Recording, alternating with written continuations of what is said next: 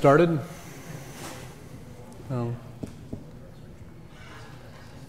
So um, I have a couple slides that need the lights dimmed a little bit, so sorry for the darkness. Uh, my name is Warner Losh. I worked for the last three years at Fusion.io, and I now work at Netflix. And I'll be talking to you today about NAND flash technology, um, understanding um, how it works, and uh, how uh, to get the best performance out of it, hopefully. if my slideshow will ever start. There we go. Um, so I'll go over the different types of NAND, um, some of the layout that NAND flash has. Uh, normally I wouldn't bother to go into these low-level details, but it is important to understand if you want to get the best performance out of uh, SSDs and stuff that try to hide all these details, but only do so imperfectly. Stores between one and three bits of data. Usually within a device it's all the same number, although hybrids do exist. Groups of cells are together to form a page. A page, by the way, is the minimum read or write um, unit that you can do when you're addressing the NAND. Uh, groups of pages form a block. Now, to write to a page, you can write to it once, but then to write to it again, you have to erase it. And you can't just erase the one page, you have to erase all the pages in that block. Groups of blocks form a plane, groups of planes are on a chip, and groups of chips are in a package. Now that's kind of hard to understand, so I drew a picture that hopefully doesn't suck as much as just the words. So you've got a number of blocks, each block has a number of pages, you have a number of planes um, that are contained within a chip, and then you have a number of chips within a package. This hierarchy is important because it determines how much parallelism you can get. Usually you get more parallelism until you get to this layer, and this is the layer where things start to bottleneck. You can only do one operation per plane, but with multiple planes, you can do many operations in parallel. You have multiple chips that act uh, independently. You can do things in parallel as well.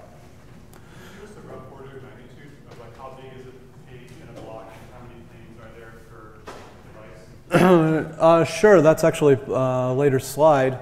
Um, so I'll, I'll get to that, but um, basically there's one to eight chips per, per package. There's one to four planes per chip. There's maybe a few thousand blocks and maybe a few hundred pages, just, and each page is a, few K in size, just to give the quick order of magnitude. So I didn't have NAND cells on, on this chart because um, you can store one, two, or three bits of data per cell.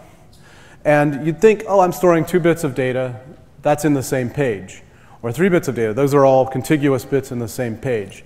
And it turns out that um, NAND storage vendors say, no, that's not really convenient for us. We'd rather have all the bits for the first page and program that, and then all the bits for the second page and modify the programming, and then all the bits in TLC for the third page and modify there. So they wind up mapping to, to different NAND pages. Um, so this, one of the implications of this is that um, some pages read faster than others because, the, um, uh, because of something I'll get to in a second. So how do they store multiple bits in a cell? Because all a NAND cell really is, uh, at the end of the day, is a capacitor. It, uh, you put a certain amount of potential on it, and um, through the magic of uh, NAND flash, you can read it back later. So what they do is when a cell is erased, everything goes into the erase state. So it pushes the charge all negative. When you program, it pushes charge over here. So in, um, no pointer. Yeah. So um, for SLC, that's easy. You program the bit. If it's 1, it stays here. If it's 0, it goes here. But for MLC, you have to program the low page, and it programs it approximately like the top picture here. And then, based on what the second bit is, it'll take the erase state for a 1 and, and move it here or here, whether it's 1, 1 or 1, 0. And similar um, move it here for its uh, zero, zero or zero one um, for the, the, the second abode. Oh, okay.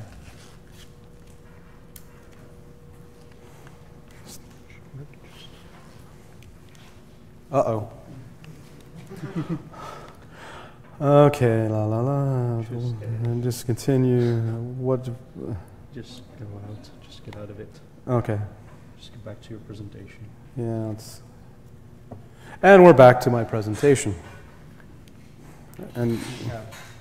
Just click here. Doesn't work. It worked. I just gave a presentation using. Yeah, I don't I don't see a dot.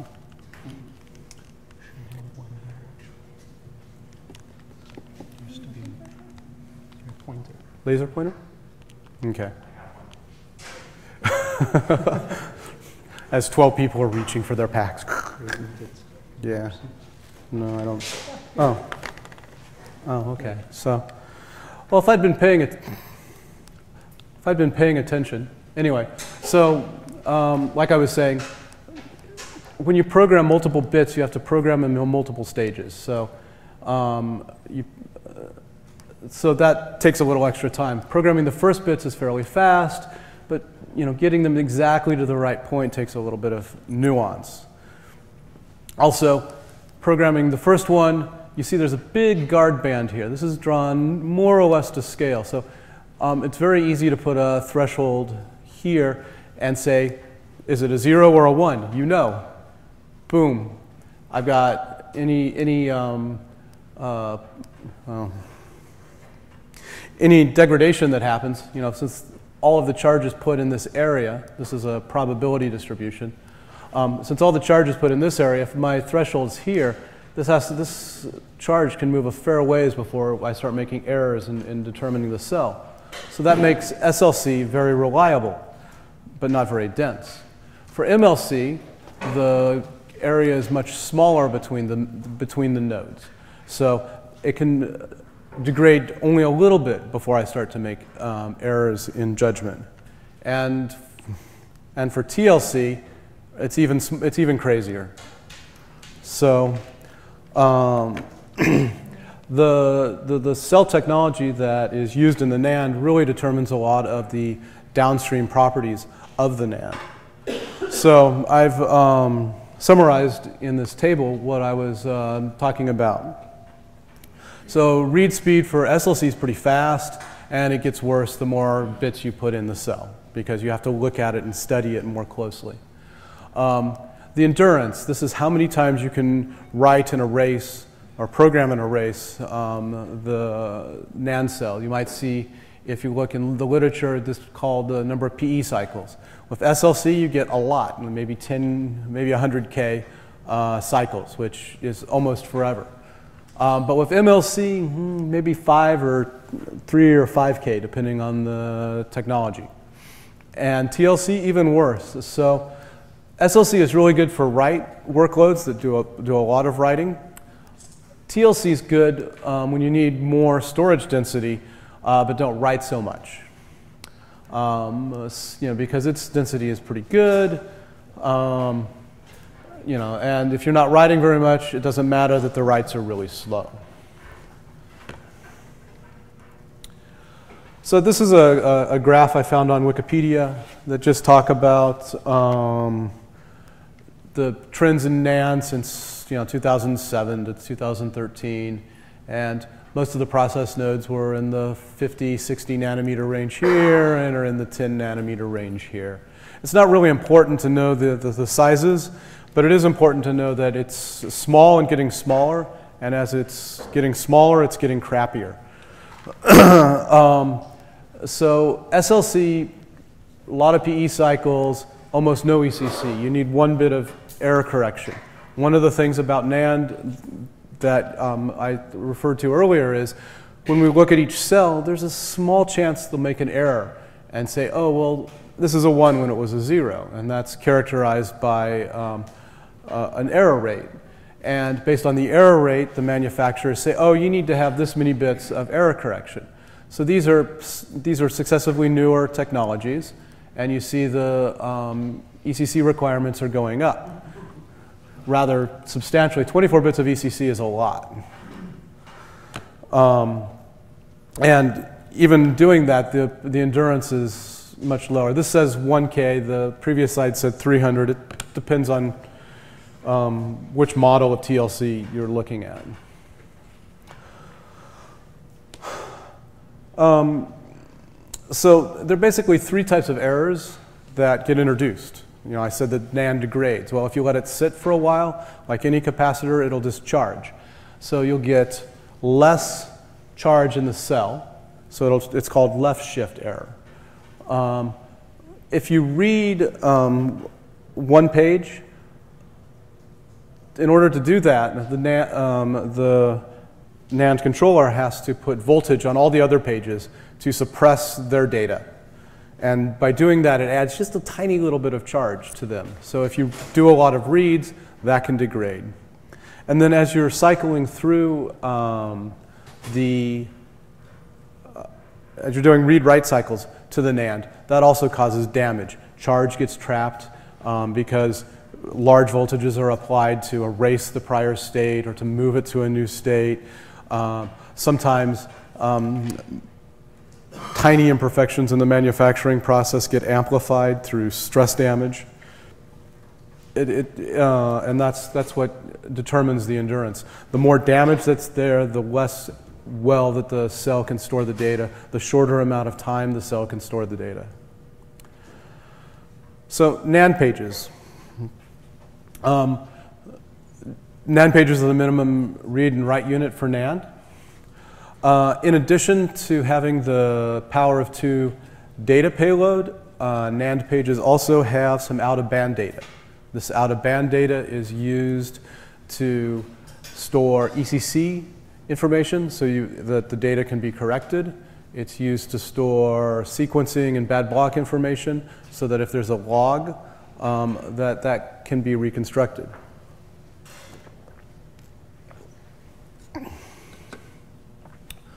Usually, um, it's a good practice to program NAND in order.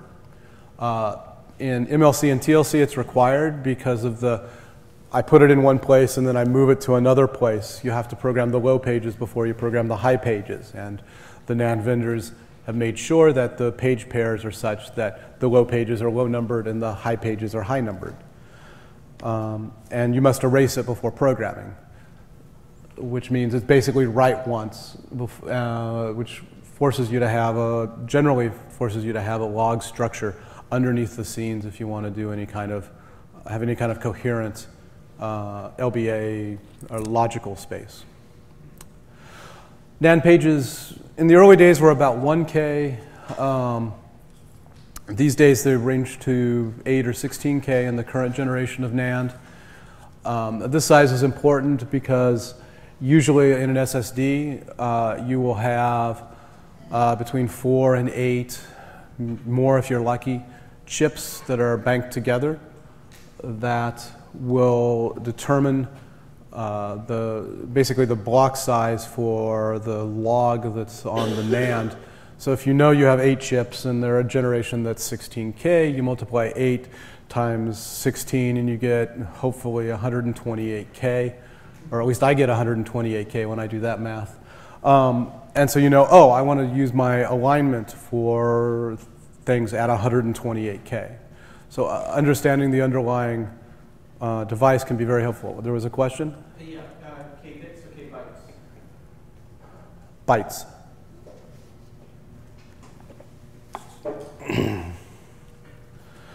yeah, NAND flash usually is sold in, this is a two gigabit part which isn't really helpful. Oh, wait, that's only 512 megabytes. So, um,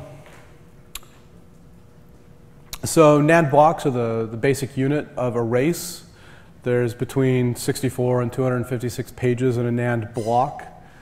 Um, again, newer technologies put more pages in each block uh, to try to take a, an effect of doubling. Older technologies have fewer pages. these blocks are much larger than the system level blocks, which are 512 bytes or 4K. So multiple system level blocks are placed in an erase block. This, this can get a little confusing, um, but it's the terminology that's, that's used. Uh, erase time can be quite long, so you want to try to avoid that. Uh, one of the things about program and erase, uh, why I keep bringing up that the time to do this is a long time, while you're programming a chip, usually you can't do anything else with that chip. So if it takes a millisecond to write out a page, as soon as you've buffered up a page to the hard drive, uh, the SSD that you're uh, writing to, it has to wait a millisecond before it can respond or before it can satisfy a read, some cheat and say, oh yeah, I wrote that, and then assume that they'll get it to flash eventually. Um, but they're unable, the, the chips physically prevent them from doing anything else until that operation is done. Um, planes um, allow the parallelism. Um, they usually consume one or two bits of address space, and um, usually planes are important for IOPS or read performance uh, because they determine the number of things that can be done in parallel. In some chips, if you're programming on one plane, you can't read on another. In others, you can, you, you, you can still read on the other plane. It, it, it's very vendor specific. Um, and so if you know the vendor of your chips, you can get a, a notion of how your uh, devices will perform. in order to get higher densities, particularly in SSDs, vendors can only make these chips so dense. They can only put so many uh, gigabits on a chip. I think the, the current largest today is um, 256 gigabits on a chip. But in a package, they could stack eight of these up and come up with a two terabyte part. Again, if I've done the multiplying by eight in my head correctly. Um, and this is, uh, you know, this is how they, they get the density. So if you see eight chips on a, an SSD board, if you take it apart, there might actually be 64 they're not eight chips, so there's eight packages. There might actually be 64 chips going on um, behind the scenes.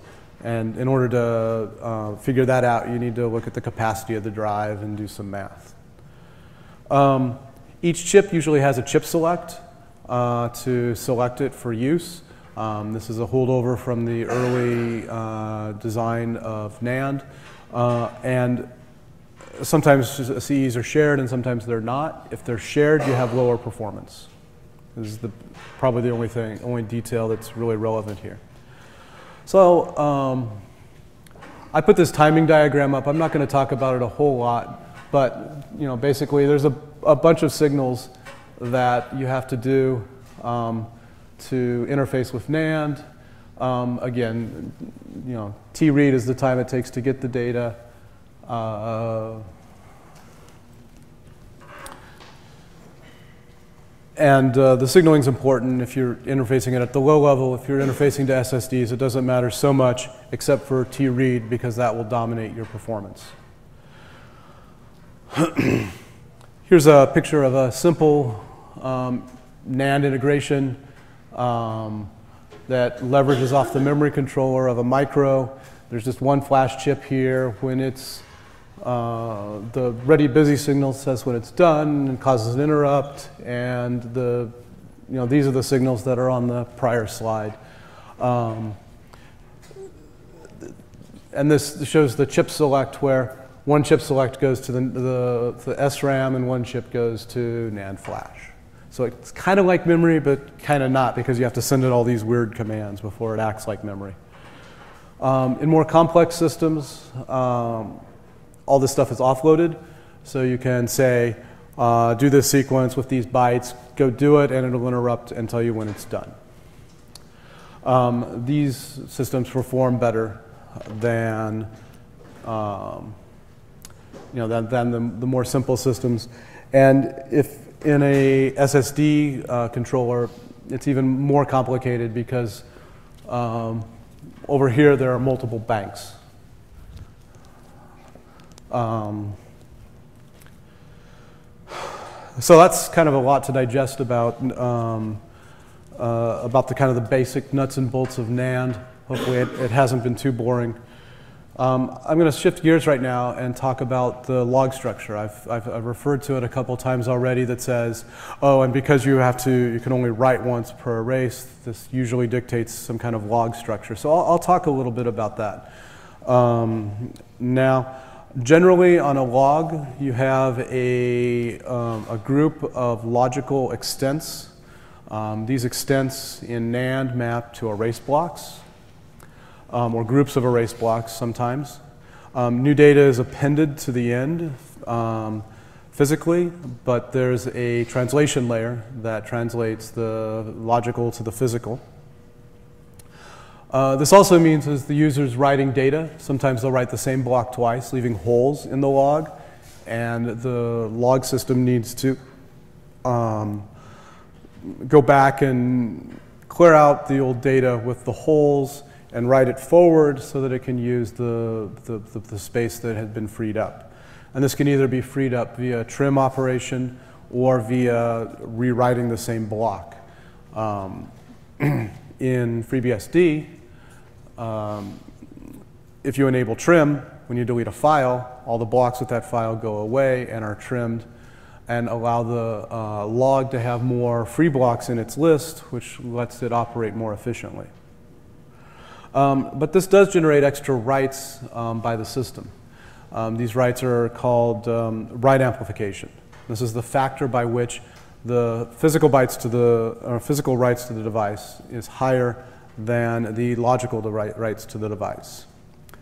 Um, I talked about garbage collection. This is just reclaiming data um, by copy them forward. So I'm going to run through a quick example. I have six extents in this log. Um, each extent holds 10 uh, blocks. The log capacity is 40 LBAs. Um, if you do the math, that means there's two spare um, uh, extents. Um, I've omitted a lot of the metadata that you would need to keep it consistent and reliable. Um, so, um, but this is just uh, to, to, to, illustrate briefly uh, the write amplification and garbage collection that goes on. So we start out in an um, empty log. That's you know very self-explanatory. We write some data.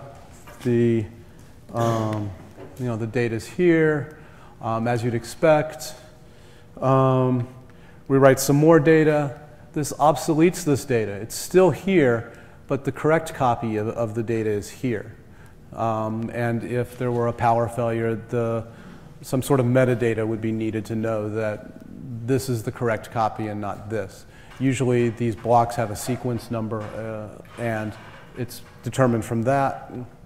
Um, I didn't put that on the slides, like I said, because um, it complicates things. So we do another write.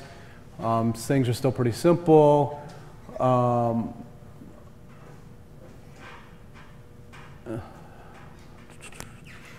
Um, and we try to do another write, but there's not enough space.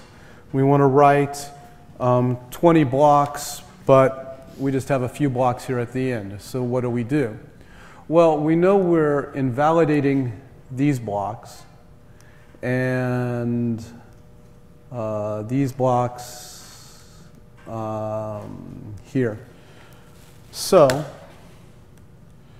um, we uh, move some of the data forward and invalidate.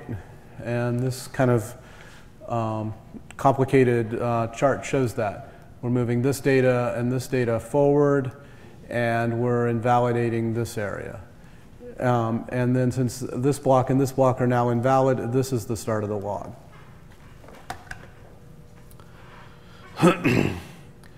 and then we actually write the data and you know, we have a situation where the log starts here, goes here and here and here, and then loops back to the front. Um, these red items are um, blocks that have been written twice. Uh, so that caused a little bit of write amplification for this example, which is basically over at this point. Um, you know, we had 72 physical writes, but only 65 user writes. So that's about a 10% overhead. So it'd be a write amplification of 1.1. Um, all this moving stuff about in the logs will be important if you're trying to optimize uh, SSD performance. So, so when there's high write amplification, what, what will you see if you're using SSDs? Well, the, the biggest thing you'll see is additional latency. Um, as you do, uh, if there are additional writes going on behind the scenes, this makes the drive busy. If the drive's busy, it can't answer your request as quickly as it could if it wasn't busy. Um, it reduces the endurance of your drive. If you're doing extra writes to the drive, those aren't useful writes to the user. So that means that uh, the drive won't last as long. Um, and it also leads to lower bandwidth. All of these kind of make sense. If you're writing to the disk, keeping the device busy, you won't be able to read the, the data out. So, what are some things you can do to, to try to avoid write amplification, to try to second guess the FTLs that exist in the SSDs? One way to do this is to write uh, large blocks of data. If you write large blocks of data, then the number of holes in the data will be smaller. Um, the uh, FTL may do run length encoding, so it can be more efficient. And the blocks of data are more likely to line up better to an entire extent of data rather than just you know, being pieces here and there. Um, the other thing you can do is you can enable trim on the device. Uh, in FreeBSD, what that does with UFS is when the device, or when the file system deletes a file, it tells the device, oh, I don't need these blocks anymore. That puts the blocks into the free pool um, right away without having to read the contents and write them forward. This is a much more efficient way to tell the drive you're done with the data than to rewrite the data or to um, just keep writing data.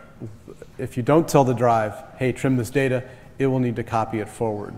So uh, that reduces write amplification, increases your endurance on your SSDs, and generally improves performance. Now, there are some SSDs where trims take a long time, and enabling trims, if you're deleting a lot of small files, sometimes can cause an issue.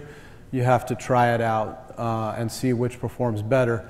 But generally speaking, most of the time, enabling trims on SSDs is, is the way to go. It's certainly the place to start when you're doing things.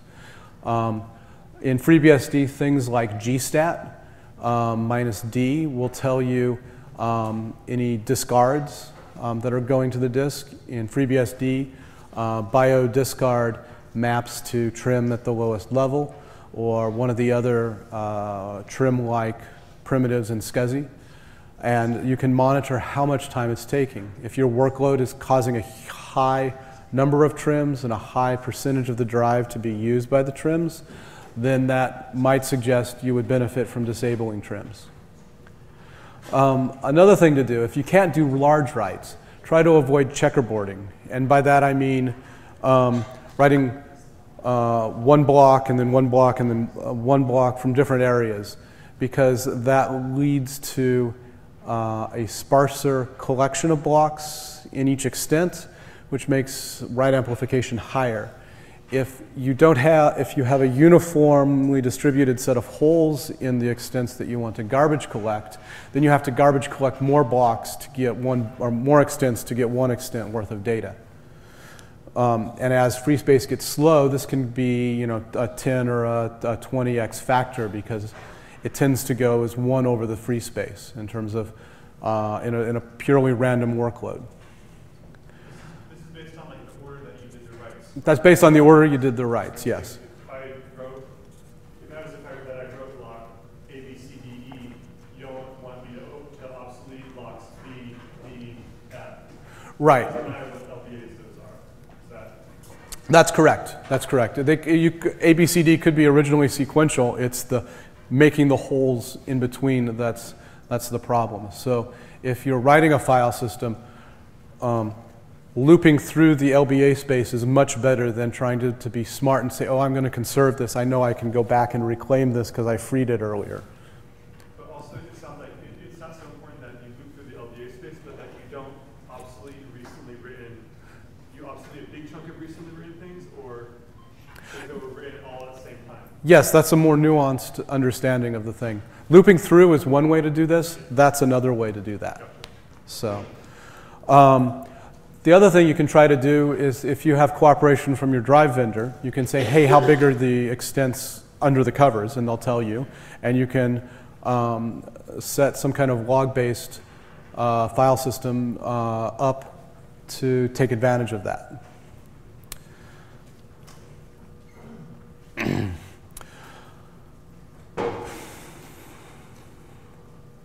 Okay, so um, the flash translation layer in each of these drives um, does a number of things. Um, it will do uh, wear leveling and error correction. Um, sometimes it'll do error avoidance um, and error recovery. Um, error avoidance is not doing things that it'll know will generate an error later. Um, an error recovery is, oh, I determined an error and I recovered from that. And sometimes the recovery is just to, oh, we'll go ahead and erase and program the block again. And sometimes it's, oh, I need to um, get rid of the, the block. Um, and there's also some fit things you can do with the physics of NAND that um, make the erase or the program less harsh on the, on the um, underlying cells. So the damage each time you do that is a little less. But to do that, you have to sacrifice some performance. One of the reasons that the endurance is so low is they were trying to make write as fast as possible. And when write is as fast as possible, you have to hit it with a big hammer. And if you hit something with a big hammer quickly, it does more damage than if you hit it with a small hammer slowly. So the, the NAND management in the drives takes care of all of these details. Um, generally, you don't have to worry about that unless you're operating at the lowest layer, but I wanted to, um, to include that in this talk to give a, a, a, flavor for some of the things that are going on behind the scenes. You might think that your SSD is perfect and great, but in reality, you know, NAND flash is crap and getting crappier as far as errors and endurance go.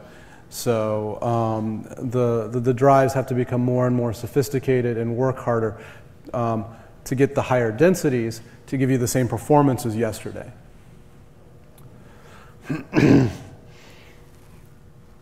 so in addition to the recovering free space aspect of garbage collection that I talked about, um, some NAND systems can trigger garbage collection at times that seem completely random. Um, usually this is triggered when a read happens uh, and the um, detected error rate is too high. When that happens, the, the management system of the drive goes, oh, I can recover the data now, but I need to be able to recover the data in a few hours or a few days or a few weeks. Um, and I don't think I can guarantee that anymore. So to deal with that, it copies the data forward, increasing write amplification. And this happens completely transparently. So one thing you might notice in your SSDs, um, if you're um, serving uh, um, uh, some workload, you might notice everything's fine, everything's fine. You know, I wrote all my new content a couple days ago, and uh, I'm serving, say, I don't know, pick a random Netflix example, video um, out of the uh, box, everything will be fine, and then all of a sudden the latency will spike.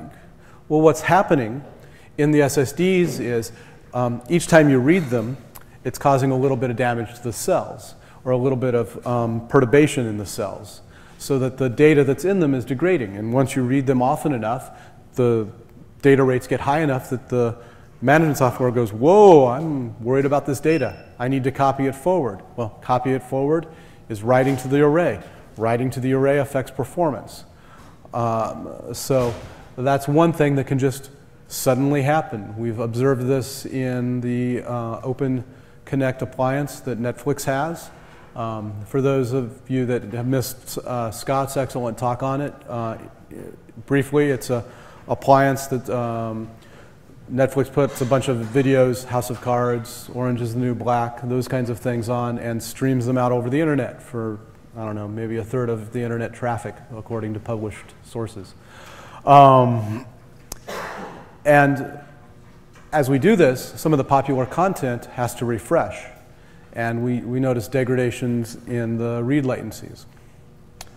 Um, and there may be other events that are triggering this as well. If you've got a chip that goes bad, um, most SSDs have a second layer of redundancy that can recover from that.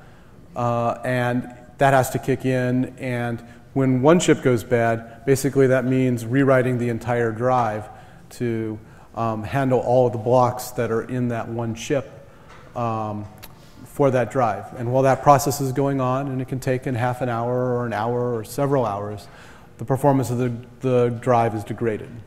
So these are invisible things that the NAND management layer is taking care of behind the scenes to keep your data safe and secure, but that you may notice um, an impact of performance. And um, some SSD vendors will, or uh, solid state um, PCI card vendors will give you some insight into what's going on in the drive. Um, others won't. Usually SSD vendors say, hmm, forget it. Sometimes they'll provide you with some smart data that tells you that a high write amplification is going on, but not why or what you can do about it. Um, some of the PCI card vendors will give you very specific details that this chip now failed and three chips have failed in this array. It really depends on, on who your vendor for storage is, what information that you can get out of it is. Um, I've been talking mostly about in this talk about managed devices, um, devices that have a flash translation layer. They prevent a logical interface to the host, and um, they do all the translation. In an embedded environment, in your phone, in um, a little uh, network appliance, all of that is done by host software rather than hidden in the, the NAND hardware. So some examples of managed devices are SSDs and thumb drives and SD cards and um, NVMe, uh, the new uh, flash standard. Um, and some raw flash parts will do this, but typically um, uh, the raw flash parts provide an unmanaged interface. So um, raw NAND um, has an unmanaged interface. You have to deal with the bad blocks and the read retries and the ECC and dealing with all of that and coordinating that within the system so that you have a reliable uh, file store or a reliable data store. There's some hybrid parts on the market that'll do parts of these. Um, the most common is parts that'll automatically do the ECC uh, generation and correction for you uh, so that the host doesn't have to get involved. ECC is typically the most expensive operation to do in software um, once you get the data moved, because you have to look at the data again and do some complex calculations um, over Galois fields and stuff, and that's can get rather computationally involved. Having that done in hardware is a, a great advantage. Um, so in FreeBSD, um, as a general rule, CAM is used for SSDs, for disks or USB drives. Um, there are some custom drivers for like the LSI uh, RAID card um, and others that you can connect uh, SSDs to. And we also have the MMC stack, or uh, the MMC SD stack, which uh, if you've got an SD card that plugs into an SD controller, uh, gets used in FreeBSD. Um, these are all managed devices, and um, you have a block layer in FreeBSD. If you're using these, um, you don't need to generally worry about that unless you need a specific performance level. And then um, you need to look at some of the things I said earlier in my talk to um, deal with that. Um,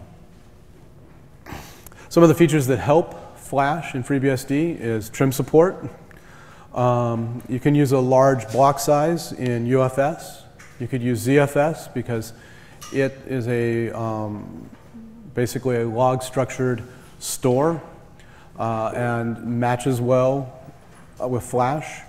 One of the other things that FreeBSD uh, currently has is uh, direct dispatch, uh, which um, allows you to go from a few thousand IOPS a second to a few hundred thousand, or you were saying a million yes, a couple days ago, up to a million IOPS, which really helps with um, database uh, transactions. Um, when Fusion IO had its FreeBSD driver, we would get maybe a quarter or a third of the IOPS out of the cards simply from the bottleneck in geom that uh, Alexander fixed. So um, typically, SSDs have become very good at emulating disks, um, but you still need to be a little bit careful about how you write to them to keep them in their happy zone.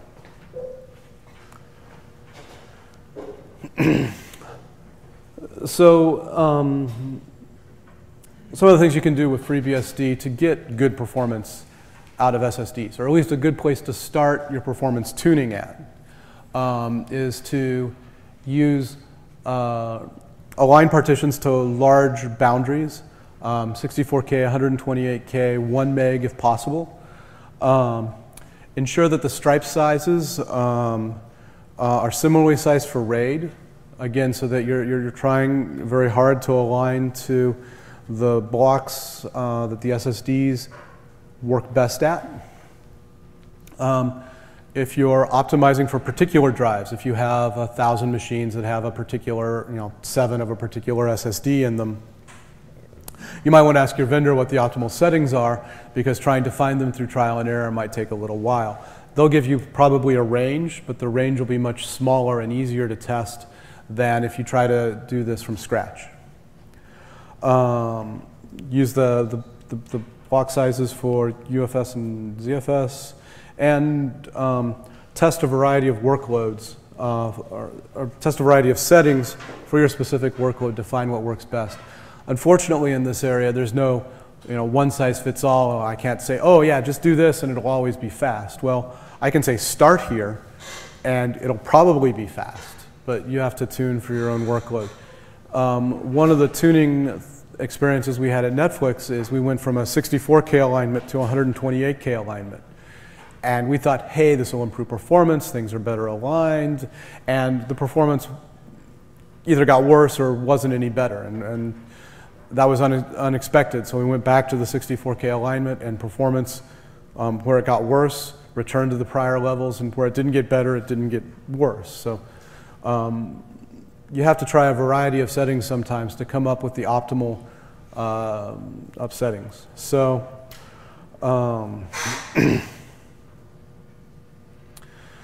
So one of the things that can cause big performance degradations in uh, SSDs, um, reads and writes interact. If you have a mostly read workload, you're, you're probably okay. If you have a mostly write workload, you're probably okay. You probably won't see any performance hit. If you start to mix these, uh, it becomes very, very quickly that if you want to have good read performance, even a low level of writes, 10 or 15% uh, write workload, can um, affect your read workload by an order of magnitude. Um, lots of reads also can trigger garbage collection in the NAND management layer. So if you can manage your data so that it's refreshed often enough that it doesn't read so much that it causes a high level of garbage collection, your performance will be better. Um, and again, misaligned or checkerboarding of data taxes the, the flash translation layer, which usually translates to poorer performance. If you want to try unmanaged NAND in FreeBSD, um, I have a couple of pointers here. Um, my talk earlier this morning went into this in quite a bit more detail. Um, it's probably best characterized as preliminary and experimental.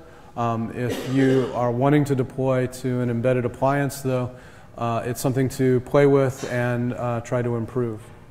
And if you want details on that, I guess um, you can see me after the talk.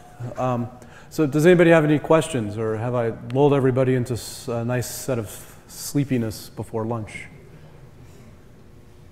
Yes.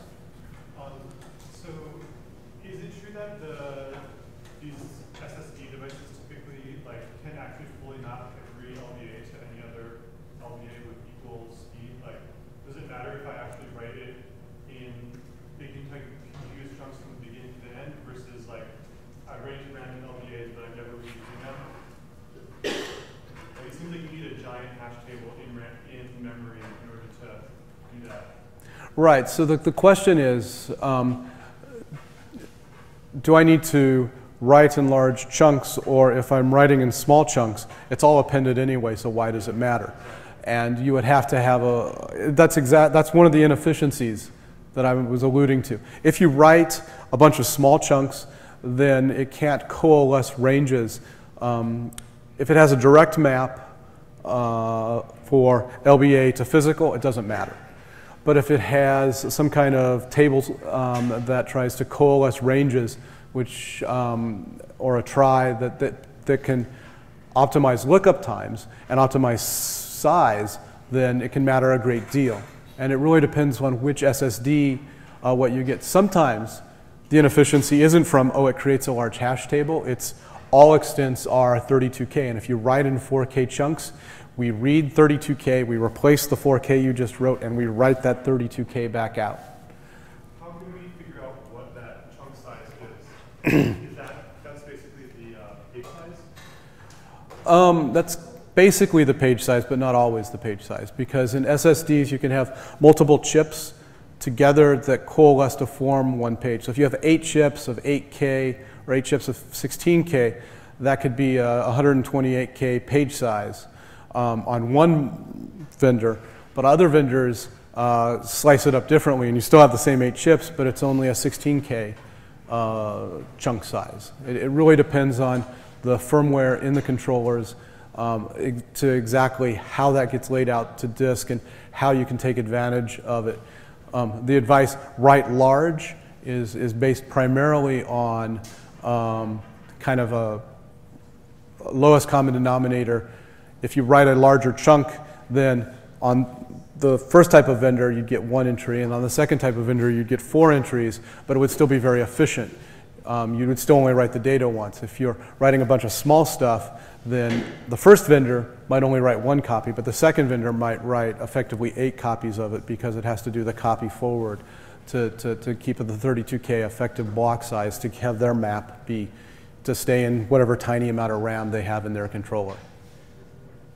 Seems like, like, not making you cop- copy re-modify, right? Mm-hmm. Would be important. Right, and usually you, the, I think the, the bottom line answer is you ask your drive vendor to tell you what that is. I don't believe there's a standardized thing in the drives that you can ask for to get that data. If there is, please let me know. I would love to know. Um, uh, it's also been my experience that no matter how much you beg and please, the drive vendors won't tell you because that's all their pro- proprietary custom stuff. That is why we shell out way more for SSDs than for straight NAND. Um, uh, I- Been there, done that. Uh, Both sides. So, uh, you were mentioning, you know, uh, trying to align file system stu- uh, sizes to, uh, to underlying sizes. If by some miracle your, your SSD vendor actually tells you, uh, the sizes that they use, uh, do you think alignment is more important, do you think it's more important to be aligned versus the program block size or the erase block size, or it happens?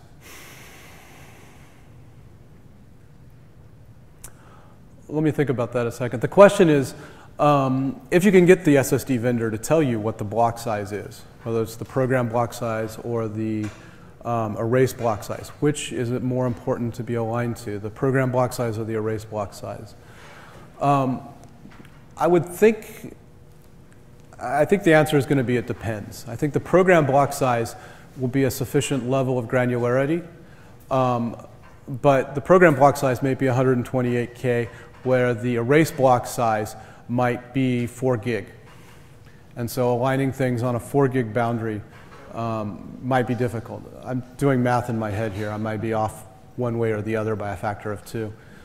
Um, so, um, you know, so that, that would present a problem. You don't necessarily want to align and do things in 2 gig chunks because that's inefficient. But you might want to align to a 2 gig chunk, but do things in a 128K chunk um, to, to, to kind of try to get the best of both worlds. kind of what we're doing, kind of trying to, you know, start the partition, start one ninety-three, but everything internally we do, you know, 16, 32, 64, something like that. Right, and that's, that's usually a good trade off because the alignment helps the FTL um, layer do the, the, the translation layer, and then the large chunk size avoids the fragmentation that, that, that um, causes problems. Any other questions?